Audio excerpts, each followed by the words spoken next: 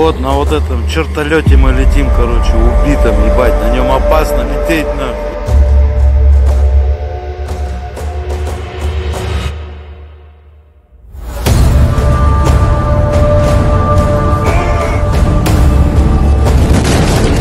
Пиздец, самолет, прикинь, нахуй, взлетели, короче, салам алейкум. Бля, заебись, а. Никто, нахуй, все живые. Жопа, короче, пиздец, винтус, ебаный. Да, я уже вижу, как ты лезешь в комментарии и пытаешься написать там что-то вроде «Оно живое» или «Ого, а я думал ты умер». Нет, к счастью, я не умер и даже снял новый видос. И самое главное, вот знаете, несмотря на то, что я, мягко говоря, не очень люблю манеру некоторых блогеров выставлять в первые два часа после патча видео про новую технику, добавляя туда еще кадры с дев-сервера, делая все это дело максимально актуальным, ценным и невероятно качественным. Потом, правда, через 8 часов выходит фикс и помножает все это дело на 0. М да, я просто-напросто сейчас делаю вид, что все было изначально задумано таким образом.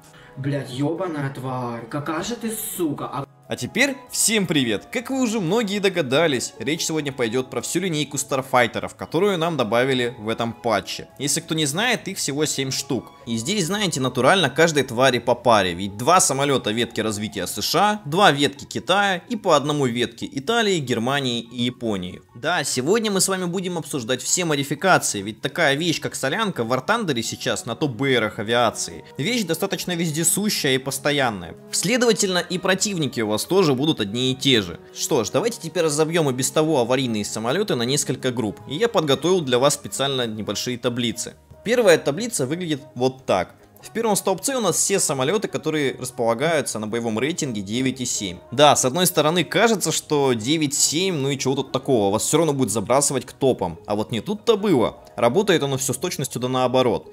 Большую часть времени, ну я не знаю, у меня по крайней мере была так, у людей, которых я спрашивал, вы будете играть вверху списка.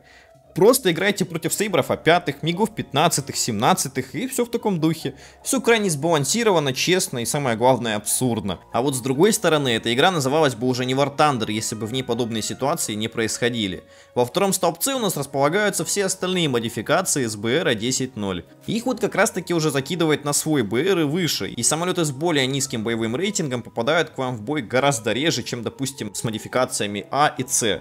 Но давайте все-таки остановимся сперва на первом столбце, чтобы без остановки не нагромождать на вас кучу информации в виде таблиц, и дабы потом в них было очень сложно разобраться. Поэтому приступим. Мощность двигателя у модификации А составляет 6060, при этом максималка 2142 км в час. У модификации С мощность уже 6360 и максималка 2142, что незначительно отличается от предыдущей модели. Для меня это было немного странно. Но я вам скажу так, тут нужно смотреть больше на динамику. То есть да, чем мощнее двигатель, тем выше будет ваша динамика, лучше разгон и все в таком духе. Но, если так посмотреть, то та мощность, которая добавляется у модификации C, у всех остальных, кстати, модификаций с 10.0, кроме итальянской, она уже даже избыточна на вот этих боевых рейтингах, так как у Земли вы все равно будете летать со скоростью почти полторы тысячи километров в час. Вспомните, сколько летает МиГ-15 или МиГ-17, да даже топовый Сейбр, не F-100, а именно который F-86. Ну, явно гораздо медленнее, чем Starfighter. При этом Климп После взлета вы сразу отрываетесь от вашей команды, набираете спокойно 1007 или даже 8, заходите на 6 вражеской команде и начинаете, если вам повезет, сбивать их. То есть, думаю, продолжать не стоит. Вы и так понимаете, что этот самолет в плане разгона, скорости и климба самая настоящая имба. А вот что касаемо управляемости Старфайтера, то здесь не все так однозначно, особенно в Вартандере. Да, он успел уже обрасти кучей мимасов, в том числе и про его управляемость, до того момента, как он появился в игре. Но здесь, смотрите, я не могу сказать, что самолет не управляется вовсе. При этом я не могу сказать также в это же время, что на нем можно залезать куда-то в маневренный бой. Реальность выглядит следующим образом.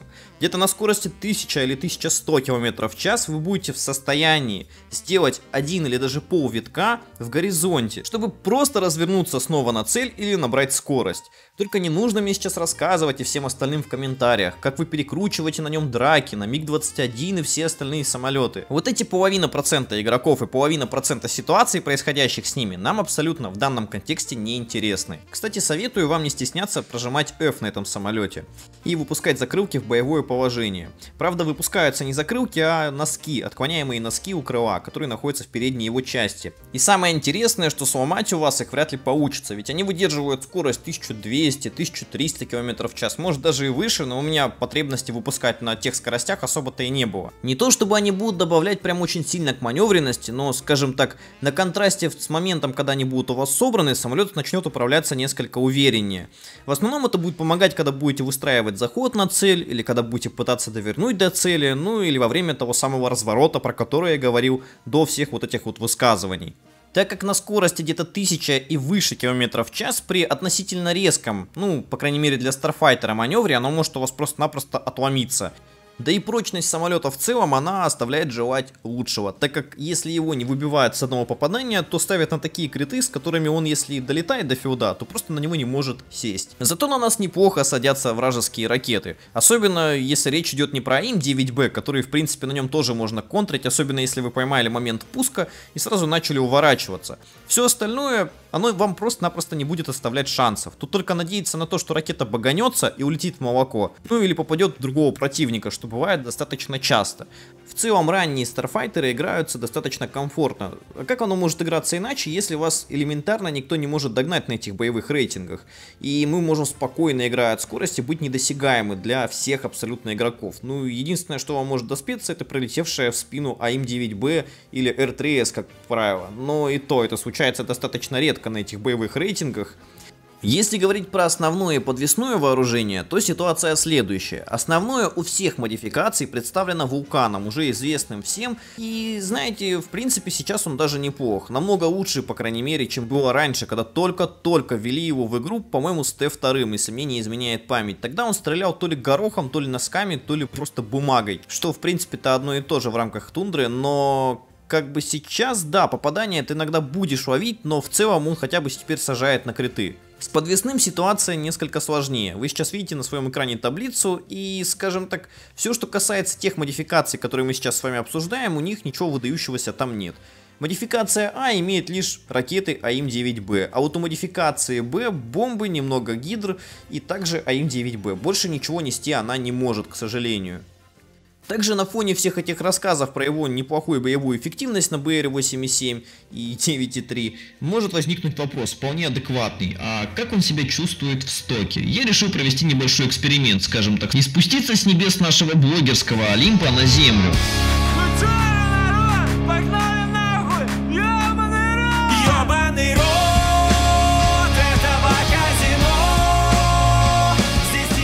Все то же самое, ничем не отличается от топовой комплектации именно на этих БРах, разве что маневренность ваша хоть какая-то вообще пропадает полностью, и да, местами все-таки вам не будет хватать динамики. А так, я бы не сказал, что все очень плачевно. И честно говоря, на Старфайтере играть-то в принципе уныло и депрессивно, а вот в стоке это умножайте, наверное, где-то на 2. Если вы так же, как и я, не умеете строить нормальные заходы и играть по рельсам, то, я думаю, прокачивать до топа вы его будете очень и очень долго. Если вообще докачаете и не плюнете где-то на половине модулей. Что ж, давайте перейдем ко второй группе, куда относятся все остальные модификации с BRM 10.0. Как вы уже догадались, бои на этих самолетах будут очень сильно отличаться от предыдущих ранних модификаций. Да, теперь ваши противники это не песочница с МиГ-15 и Сейбром 5, а натурально ваши СБРовцы, то есть Фантом, Мираж, МиГ-21 и так далее. Требования к самолету тоже меняются, как и требования к его подвесному вооружению. Если так посмотреть, то можно заметить, что хуже всего ситуация обстоит у итальянского и немецкого Старфайтера. Да, у немецкого есть хотя бы норды, и в принципе в теории вы можете делать минимум один фраг совместных, правда мне, честно говоря, неохота было лезть туда и проверять. Но АИМ-9Б на БР-10.0 это такое себе. Хотя, да, это не первый самолет с такой ситуацией, но все же. Это не отменяет того факта, что с такими ракетами на таком БР делать-то особо нечего. Зато у китайского, точнее тайваньского и японского Старфайтера дела обстоят более-менее нормально. Да, для совместных, допустим, японский вообще не пойдет, потому что там только ракеты. А вот Китайский самый универсальный и самый лучший в принципе в игре. Думаю, никто не удивлен из старфайтеров. Во-первых, у вас самые лучшие аимки, которые позволяют вам делать 3, а то и даже 4 фрага, а потом еще и распиливать самолеты с автопушки. Во-вторых, у вас есть булпапы. Это также минимум один фраг в совместных боях. Правда, я, насколько знаю, их понерфили и честно, врать не буду, можно ли с них сделать этот один фраг или нет, ну, наверное, да, все-таки можно, если долетите до танков, конечно же. Геймплей на этих самолетах отличается очень сильно от тех, которые мы с вами обсуждали ранее. Во-первых, да, самолеты, как будто банально не звучало, летают здесь гораздо быстрее, хотя вы все еще сохраняете за собой призовые места по скорости у земли, по динамике и климбу. Во-вторых, у вас все еще не самая лучшая маневренность. И в-третьих, это ракеты воздух-воздух, которые вам просто-напросто будет нечем контрить. В целом, на Старфайтере все равно достаточно легко делать фраги, если правильно его использовать. И я не говорю, что он какой-то слишком слабый и он превозмогает. Да нет, наоборот, особенно если брать во внимание китайский. Тут, как по мне, самый лучший и геймплей на нем наиболее вариативный и наиболее интересный. Все остальные, ну, честно говоря, унылые, скучные. И подойдет явно лишь фанатам этого самолета, ну или чего-то более-менее похожего по характеристикам. Ожидал ли я чего-то другого? Думаю, что нет. Примерно то же самое я и ожидал увидеть, правда, казалось местами, что будет еще хуже, чем сейчас. Если говорить про то, стоит ли его прокачивать, то тут нужно смотреть на ветку, в которой он расположен. Потому что сам по себе самолет, ну, честно говоря, лишь за исключением его легендарности, не является каким-то прям мастхэвом. Но если вы качаете ветку Италии или ветку Китая, то там другого нормального, адекватного сверхзвука просто-напросто нету. Так что выбор в любом случае делаете вы сами. А на этом у меня все. Спасибо за просмотр и удачных вам боев.